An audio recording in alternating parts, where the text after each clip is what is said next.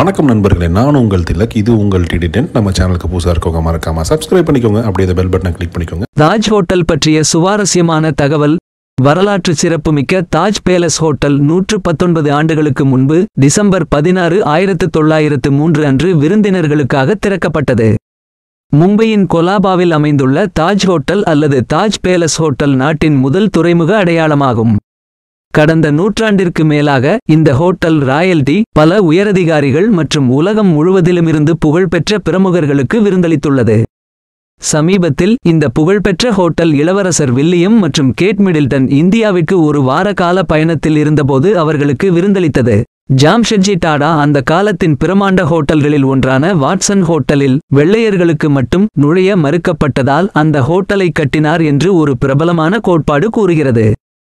ஆனால் the Times of இந்தியாவின் அப்போதைய ஆசிரியர் பம்பாயின் சாராம்சத்தை அப்போது அது அழைக்கப்பட்டது. படம் பிடிக்கும் ஒரு ஹோட்டலை கட்டும்படி அவரை வற்புறுத்தியபோது அவர் அதை கட்டியதாக மற்றவர்கள் தெரிவிக்கின்றனர்.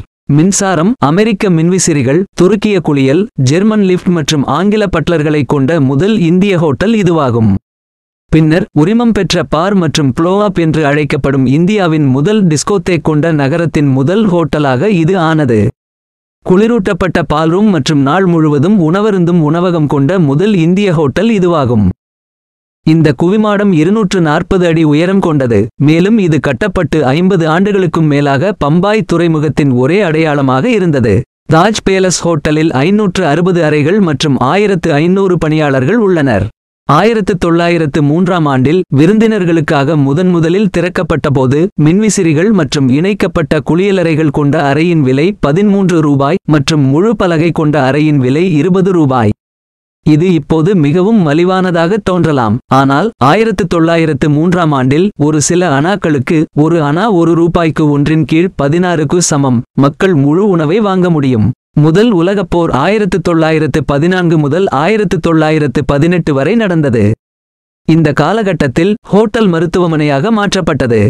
காயமடைந்தவர்களுக்கு சிகிச்சை அளிக்க அறுநூறு படுக்கைகள் இருந்தன. இரண்டாயிரத்து எட்டாம் ஆண்டில் இந்தியா ஒருபோதும் மறக்க முடியாத நாளில் இந்த ஹோட்டல் பயங்கரவாத அமைப்பான லஷ்கர் இ தொய்பாவின் இலக்காக இருந்தது. இதன் விளைவாக நூற்று அறுபத்தேழு பேர் கொல்லப்பட்டனர். பயங்கரவாதிகள் விருந்தினர்களையும் ஊழியர்களையும் மூன்று நாட்கள் பிணை கைதிகளாக வைத்திருந்தனர். பின்னர் அவர்கள் இந்திய கமாண்டோக்களால் மீட்கப்பட்டனர். தாக்குதலுக்கு பிறகு பதினெட்டு மாதங்களுக்கு ஹோட்டல் புனரமைப்புக்காக மூடப்பட்டது. இரண்டாயிரத்து பத்தில் மீண்டும் அதன் கதவுகளை திறந்தது.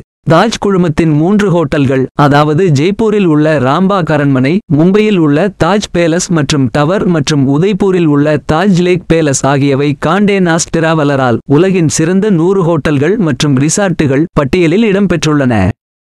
இந்த கம்பீரமான ஹோட்டலை கட்டுவதற்கான செலவு ஆயிரத்து தொள்ளாயிரத்து மூன்றில் ஜிபிபி இரண்டு லட்சத்து ஐம்பதாயிரம் ஆகும். இது தோராயமாக ஜிபிபி நூற்று இருபத்தேழு மில்லியன் இரண்டாயிரத்து பதினெட்டின் படி ஆகும்.